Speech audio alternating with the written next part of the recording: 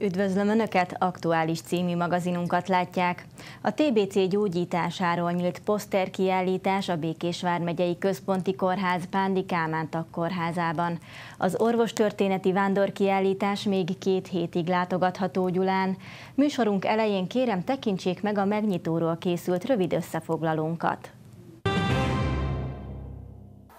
A tuberkulózis ma Magyarországon már ritkán fordul elő, de az 1950-es évekig minden negyedik haláleset a morbus hungaricusként elhíresült betegség miatt következett be.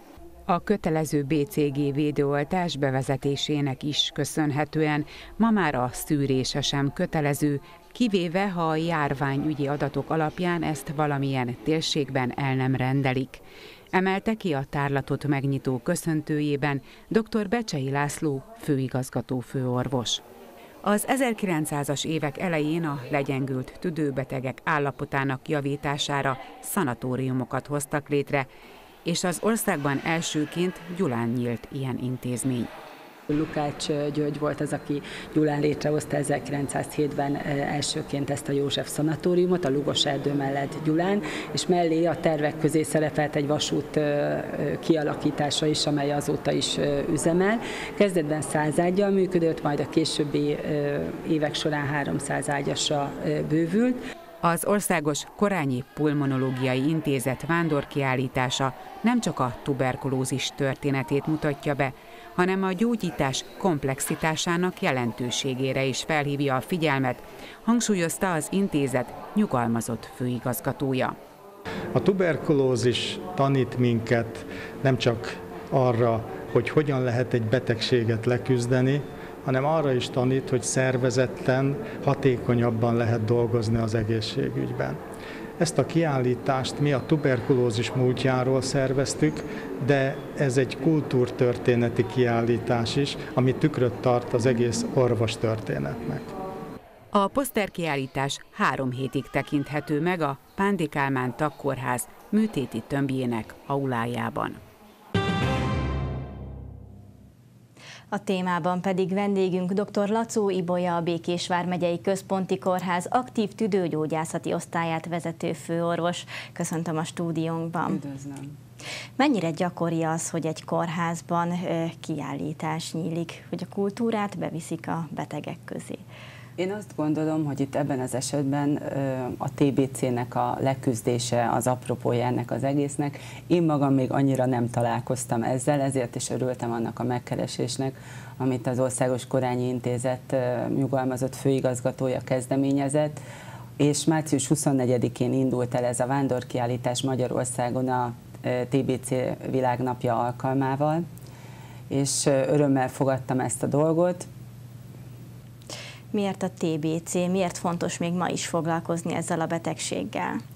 Azt gondolom, hogy Magyarországon egy nagyon nagy orvostörténeti sikernek lehetünk tanulni a TBC esetében, hiszen a 19. század végén, 20. század elején ezt a betegséget morbus hungaricusnak is hívták, hiszen Magyarországon az összes halálozás negyede a TBC volt felelős, negyedért a TBC volt felelős, és gyakorlatilag ez az, egy olyan betegség, amit sikerült az összefogásnak, a tüdőgondozói hálózatnak és az orvostudománynak köszönhetően már már egy ilyen kis egyszerű betegségé szelídíteni, és azt gondolom, hogy ezért fontos ez a, ezért, hogy beszéljünk erről, hogy léteznek olyan összefogások, létezik olyan, olyan betegség, amit igenis le lehet győzni és ugye itt nagyjából száz év távlatról beszélünk.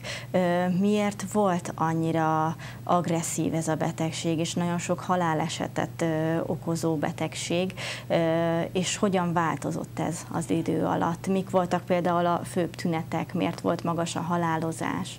A halálozás azért volt eleinte magas, mert ugye elsősorban azokat a betegeket, vagy azokat az embereket érintette, akik a rossz szociális körülmények között éltek, alacsony alacsony táplálkozást vagy minőségi ételeket ugye nem tudtak megenni. Elsősorban ezeknek a lakosságnak a körében szedte a, az áldozatait a, a TBC, a zsúfoltság, tehát ugye ami a 19. század végén jellemző volt.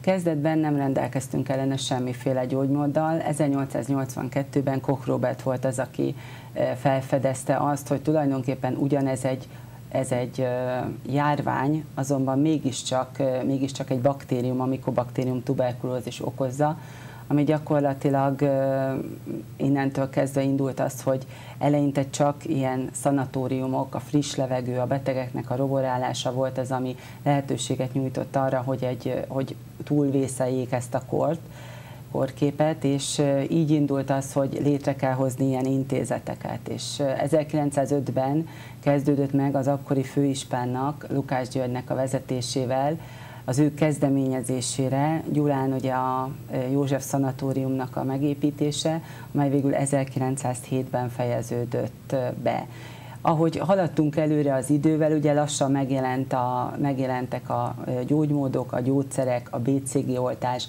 kialakult az 1960-as években a tüdőgondozói hálózat, amely a tüdőszűréseknek köszönhetően korai stádiumban fedezte fel ugye gyakran a betegséget, ennek köszönhetően jelentősen lecsökkent a halálozás.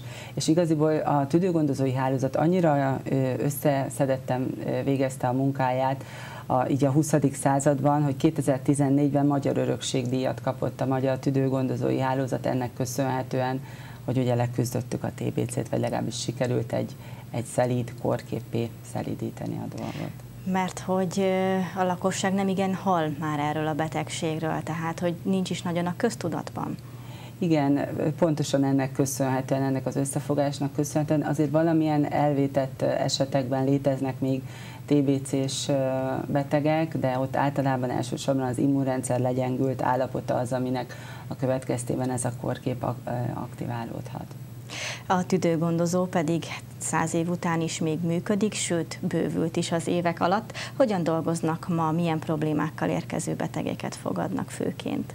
Hát az utóbbi időben ugye a tüdőrák vált Magyarországon a vezető daganatos halálokká és jelentős ezeknek a betegeknek a száma, ugye a dohányzásnak, a környezeti tényezőknek köszönhetően a krónikus obstruktív tüdőbetegek száma is jelentősen emelkedik. Az aszma, az egy aszma is meglehetősen nagy részt foglal el a tüdőgondozóknak a működésében, azonban ott ugye jelentős terápiás lépések történtek, de elsősorban a tüdőrák az, ami, ami jelentősen leköti most a tüdőgondozóknak a, a kapacitását.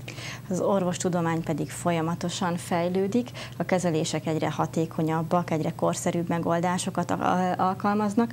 Jelenleg mire készülnek, vagy milyen átalakítás lesz a következő időszakban? Én azt gondolom, hogy a tüdőráknál nagyon-nagyon fontos az, hogy időben diagnosztizáljuk a tüdőrákot.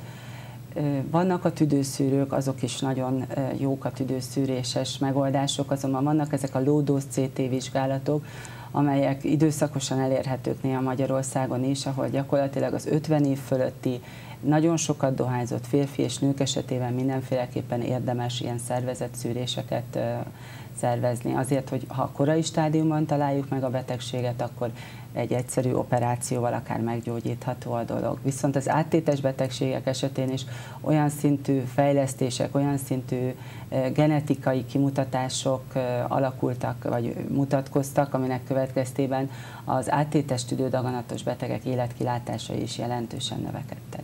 Említette, hogy nagyon fontos az, hogy korai stádiumban észleljék a betegséget. Vannak-e erre utaló jelek, vagy még az első jelek megjelenése előtt szűréssel ki lehet ezeket szűrni? Illetve, hogyha szűrésre nem is megy el, vagy nem jár a lakosság, nem tudom egyébként ez mennyire jellemző, hogy önként elmennek, akkor mire figyeljenek?